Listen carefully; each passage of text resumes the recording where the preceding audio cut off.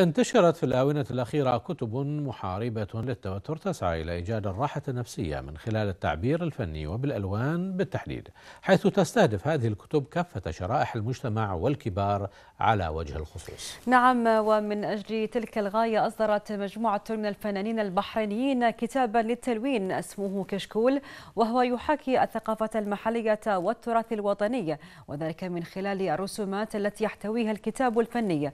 المزيد من التفاصيل والفن عبر التقرير الزميل صالح يوسف.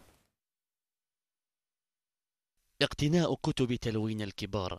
ظاهرة اجتماعية بدت تطفو على السطح مؤخرا لا سيما في الدول الغربية. وفي مملكة البحرين اجتمع مجموعة من الشبان من الفنانين والموهوبين عبر مواقع التواصل الاجتماعي. كي ينشروا مثل هذه الكتب والدفاتر ولكن بطابع محلي. وتراث وطني. طبعا كشكول معناته دفتر باللهجة العامية. وعن شلون تجمعنا إحنا كفريق بدأت من خلال ال Snapchat خلال ال story مال الاخت مريم بوسلور شريكة فكرة المشروع. أه، حطت في ال story مالها دفتر تلوين وقالت حلاته لو عندنا دفتر بثيم بحريني. وقلت لها رحت لها في ال direct معنا ما قد تقابلنا ما قد تكلمنا من قبل قلت لها ليش ما نسويها كفكرة صجية؟ ونسوي حقيقة وهاي ال story جمعت ناس لأن أنا ساكن في كندا فهي كان عندها تواصل مع فنانين بحرينيين. جمعتهم حطتنا كلنا في group آه، واتساب.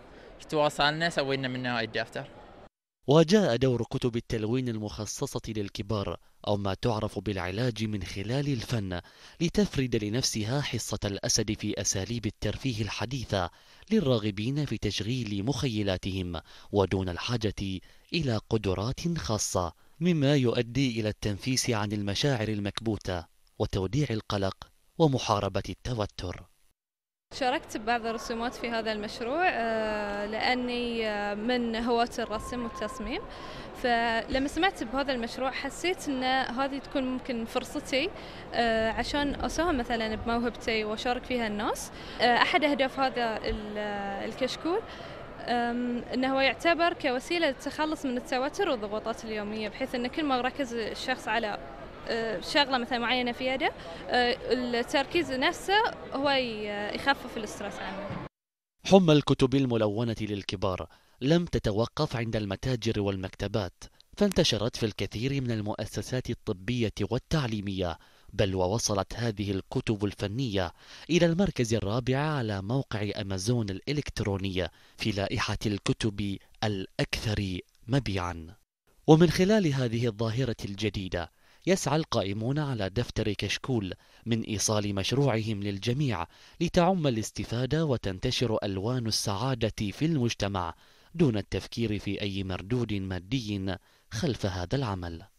نبي نروي الناس إن الشاب البحريني شاب متمكن قادر على أي شيء ما حط في باله هالشيء. طبعا ريع المشروع بيروح 100% حق مشاريع خيرية. تدعم الشباب البحريني تدعم يعني أي شيء حاجات موجودة عندنا في المجتمع المحلي إن شاء الله. من معين الجمال الذي لا ينضب لا زالت الإبداعات الوطنية والشبابية وفي كل مكان بازغة ومتواصلة. فهكذا هي البحرين وهكذا هم شبابها لتلفزيون البحرين صالح يوسف.